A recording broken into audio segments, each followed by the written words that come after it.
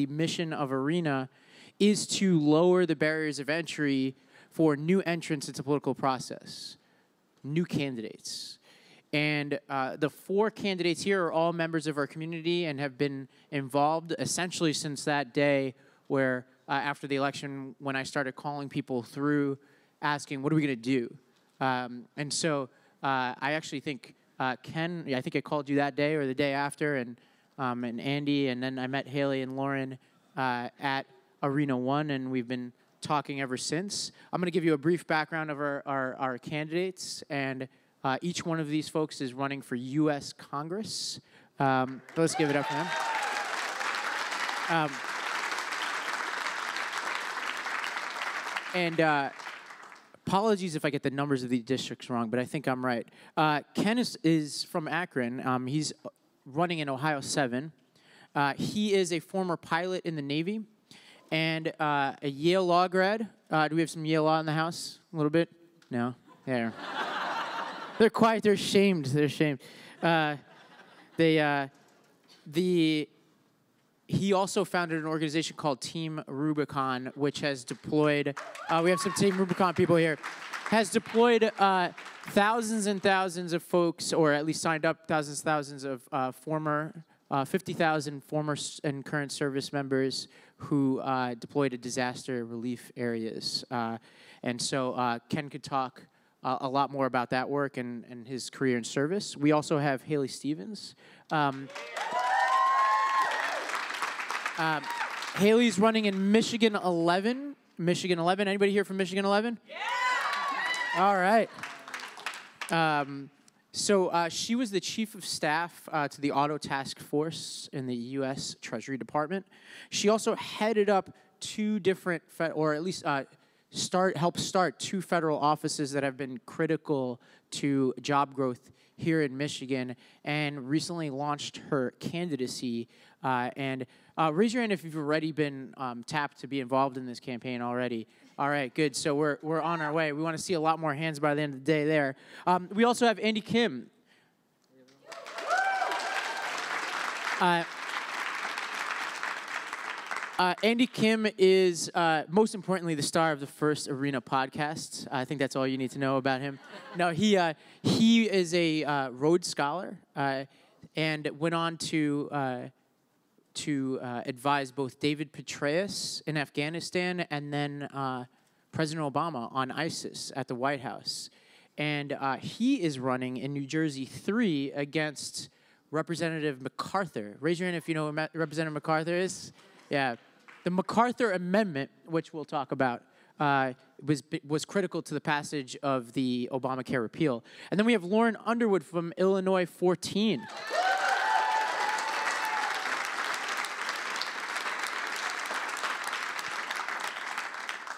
I feel like I'm, I'm, I'm, name, I'm giving names at a graduation. Hold your applause. Um, so Lauren is a former nurse, and she's now a senior director at Next Level Health. She was also an appointee in the Obama administration at HHS. All right.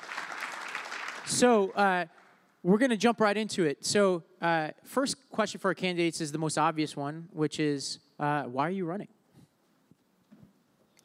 Great question, Ravi, and thanks for thanks for everything. Thanks for pulling this together. It's such an inspiration to be in a room like this, and I'll level with you. On November 9th, when I explained to my daughters what we had just done as a country and put them on the school bus and thought, what next?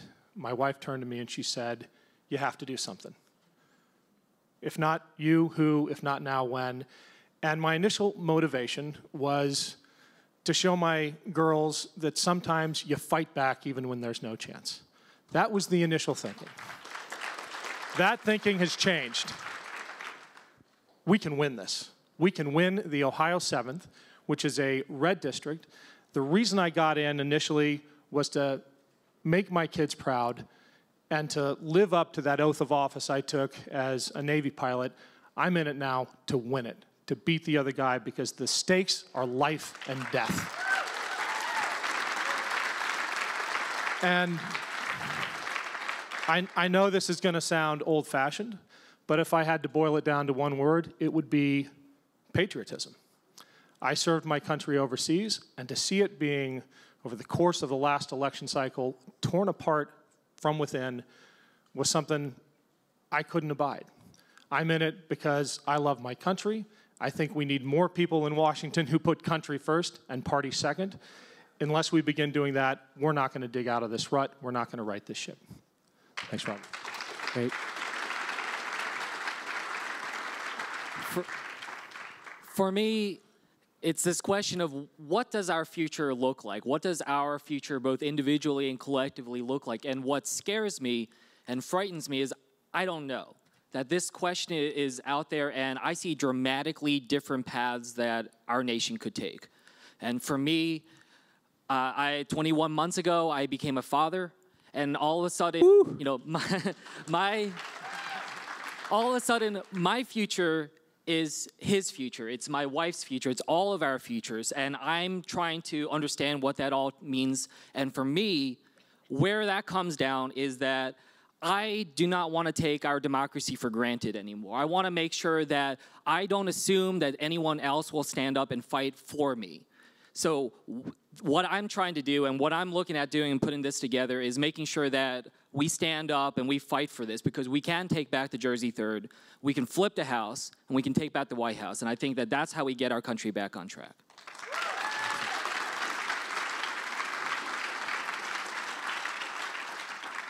Hi, everyone. Uh, I'm Lauren from the Illinois 14th. And so I was in the Obama administration until the very last day.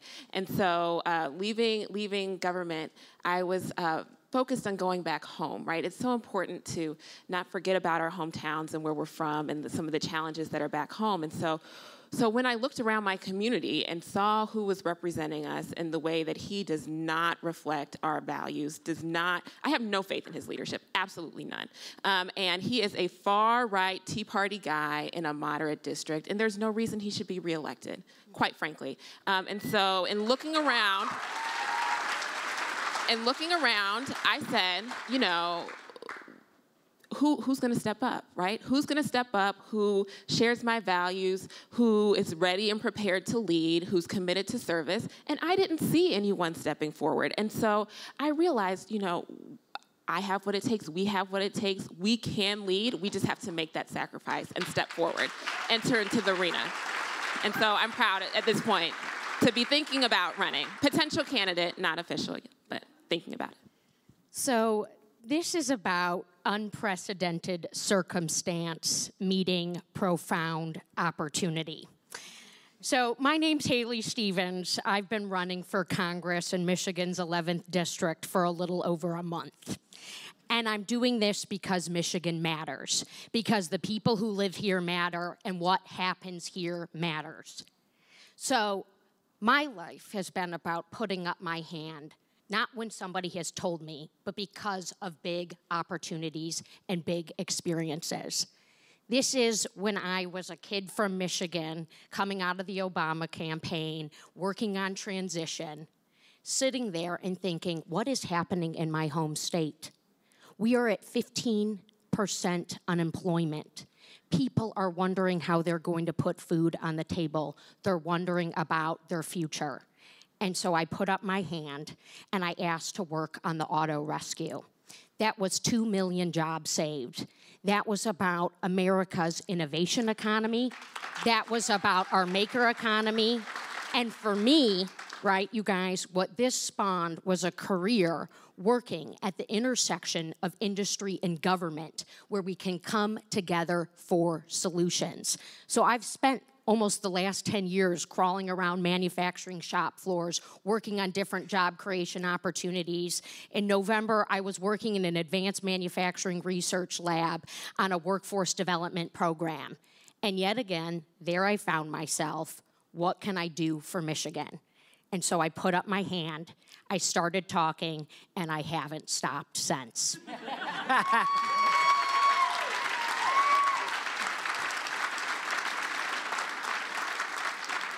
And uh, to give you a sense of Haley, for those of you at the reception last night, she was walking around with a clipboard signing up volunteers yesterday. It doesn't stop. That's how it's done. Uh, next question, and this could be a short one because this is kind of a shameless self promotion, but uh, Haley and Lauren in particular, tell us a little bit about uh, Arena One and how that uh, factored into your decision to run and, and just think about running. So I was already looking at precinct data on November 10th, right? I was wondering, okay, how can I get this done? Because you guys, we're all here because it's not necessarily about yesterday, it's about today and it's about what we can do for tomorrow. Period. So I got to work, and lo and behold, Ravi and Aaron Fitzgerald and Michael Simon and Jason Green had gotten to work too. And so this is kind of about somebody thinking about something and meeting an opportunity, which you had presented, which is what's next and how do we get to work. So I was right there in Nashville, sitting in the front row, taking copious notes, of which I wrote by hand and then typed up afterwards, absorbing, right? Because I had been working in a manufacturing research lab. How do you run for Congress? How do you make a difference? I got smart. It's about the activity of listening and engaging and connecting that community. I know I'm in a room here full of so many people from Michigan because you all are a part of the groundswell. There's real activity happening here in Michigan. And so we're stepping up, and what Arena is doing is you're keeping us together, Ravi. How great! We're in a room full of friends, and this is so special. So thank you. It's meant a lot to me. Well, thank you. Uh, coming out of Nashville, uh, Nashville was so important uh, to reorient my thinking about running and making it in the forefront of my mind, right? I don't know if you share this this desire to serve, right? And it's always maybe something that we might do one day. Um, and so what that time in Nashville did was made it more immediate. Uh, and then to to be a part of a cohort, either a regional cohort or among you know peers who are also thinking about running that we can be accountability partners, support systems, share information, right? Um, the, the network has been so valuable as I continue to explore Run for Congress, uh, really just connecting with very, very, very valuable resources. So I encourage you all who are here, who are thinking about it, don't dismiss it, don't put it off, run. Run. And then also uh, talk with your neighbor sitting next to you uh, because these folks are brilliant and um, are energized to help help take you across the finish line. Great. Uh, just a show hands from our panelists, uh, if, if your opponent or potential opponent uh, voted to repeal Obamacare, uh, just let us know. Um, all right, that's everybody. Uh, so, starting with Andy, and anybody else could jump in. Um, is that vote going to be central to your messaging in, in your campaign? And uh, if it is, give us uh, give us a little bit of that inside talk. We, you know, there's only cameras here and tons of people with phones, so this won't get out at all. But give us give us the playbook. What what what are you going to say? Like, how are you going to message this? So the day that I went public that I was exploring this run was the day that Representative Tom MacArthur, my representative from the Jersey 3rd, uh, released publicly the MacArthur Amendment. Uh, this was not, I did not wake up that morning like ready to say, I'm going to publicly announce this, that I'm to be doing this thing. It was that I read through the MacArthur Amendment, which is uh, what revived Trump care, which is what created state waiver uh, process that gutted protections for pre-existing conditions. I read that, and immediately I just started calling some of my friends, and I said, I think I got to do this today.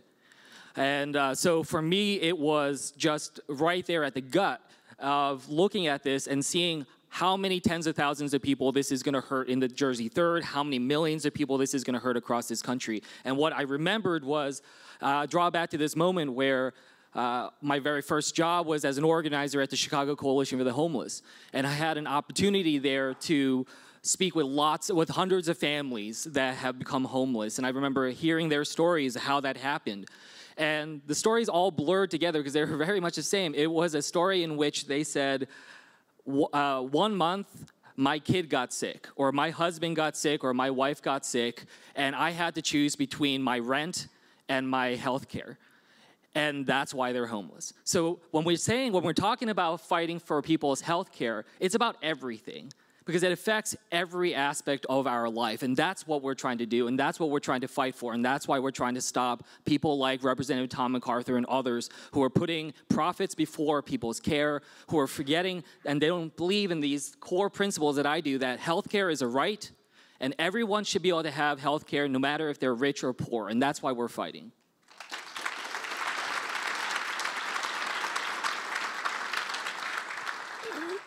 This is the central issue for the vast majority of my constituents because, as was just said, it affects everything. And it's easy to get lost in the numbers the 23 million Americans who are going to have the rug ripped out from under them, the hundreds of thousands in my district who are likely to have their pre existing conditions denied.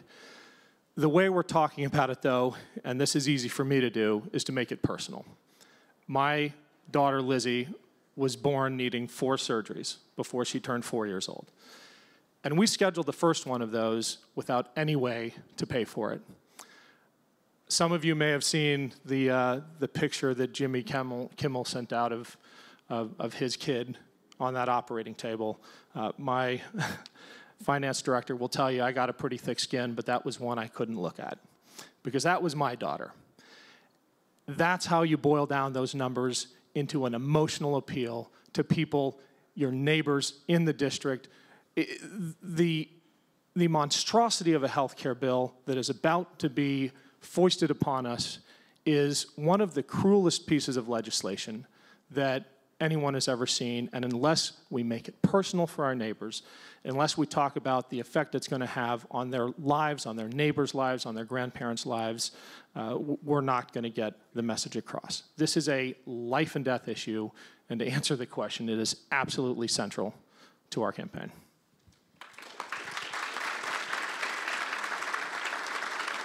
I just want to add um, I'm a registered nurse have taken care of patients, patients who are uninsured, underinsured, and have full coverage, right? This is personal for me. This is what I do professionally.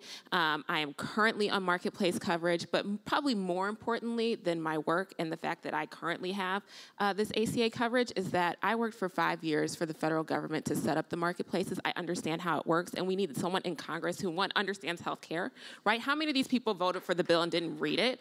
Um, obviously, they didn't. Uh, the president hasn't read it, doesn't understand healthcare, right? And so they are making these laws that impact our lives every single day and have no idea what they're doing. Um, and so I'm going to make it an issue. People raise it with me every day when we go to these meetings, and um, they're going to be held accountable for that vote. So I'm, I'm running against the third wealthiest member of Congress a man named Dave Trott, who's in his. Th- thank you, friends. Thank you. Who made a bunch of his money off of running a home foreclosure business.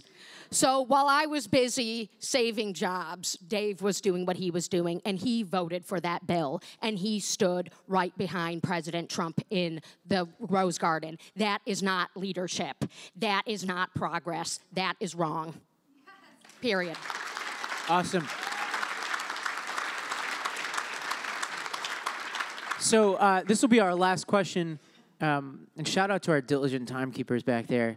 Uh, I'm afraid of you. I, I, I, promise I'll do this fast. The, uh, so uh, last question is, uh, each panelist here has a record of service, whether it's service uh, domestically or service in national security.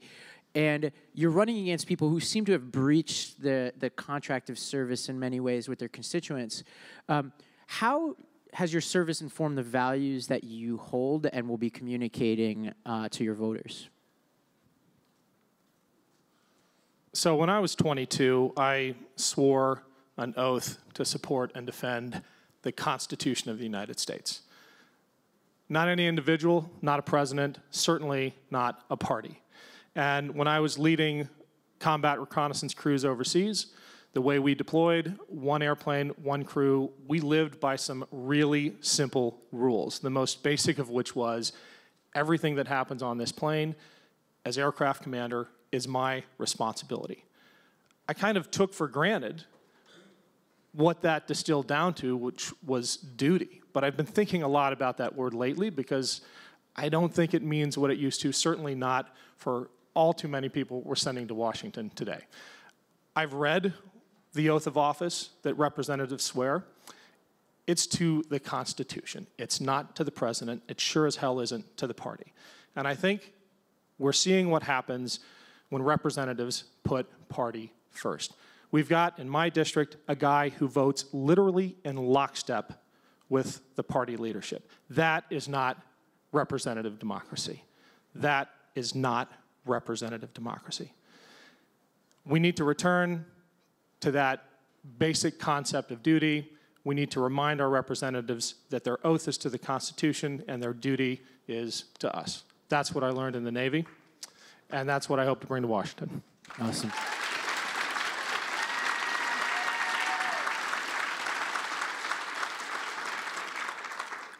For me, service is such a critical issue, uh, such a critical word. I mean, for me, the way I see it is that public service is not a job for me it's a way of life. It's something it's where it's how i conduct myself it's how i engage and interact with the people around me. And i think about this one line that uh, you know president obama said once in a meeting in, in the situation room which was you know in this room i've never asked for a guarantee because he understands just how chaotic things are. And what i took out of that and that experience working with him was that individuals matter that every day is a fight and that we really need champions both inside and outside of government talking to each other, working with each other, and that's how change happens. That's how we get progress, and that's what service means. It doesn't have to be in government, but it's a way of life, it's how we conduct ourselves, and it's understanding our responsibility to the people around us. So that's how I approach this, and that's why uh, I use service as my anchor. That for me, it's how I uh, engage in every aspect of my life.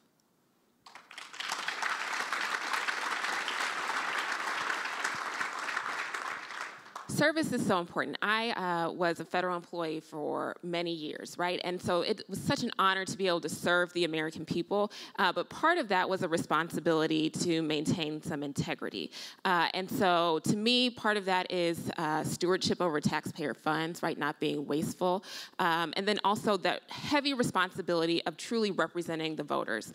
Uh, I am represented by a member of Congress who doesn't want to meet with folks, who doesn't want to be responsive and help be held accountable for his his votes on our behalf. Um, and so I'm going to be weaving in this idea of service and integrity. Um, should I decide to run, because it, it's just it's that important and um, critical to the role of representative. So, for me, this is about accessible leadership and the role that government can play for people. And a story that I'd love to share with you all is when I was working in the Treasury Department on that auto rescue you know, when we were staring kind of the unknown in the eye, I decided I wanted to be the open line to people. That anybody who could make their way to my phone, I would pick it up, I would listen to them, I would cry with them, and I would hear from them. And there was one man in particular here in, in Michigan who was running a metals business. And he would call and we would talk to me about his company and he would explain to me how worried he was. And he'd say, I'd really like to come visit you in Washington. I'm going to come come visit. And I said, That's great. I'd love for you to come. Come visit our office. And so one day, Mr. Metals manufacturer, he would do the bumpers on cars. He, we booked the meeting, and he came into the Treasury Department. I met him at the front with his huge hunk of metal. And he said, I want to show you what I make. And it seems funny, right? But it was important because what that man did was important. It was important for his family and the people that he employed. And that's what this is about. That's what our new message is, you, you guys, right now. It is about your work, your life, your health, our environment. That's what matters. That's why we do what we do. That's why we step up in moments like this. That's why I am running for Congress, and that is what I will do in the United States Congress. So. All right.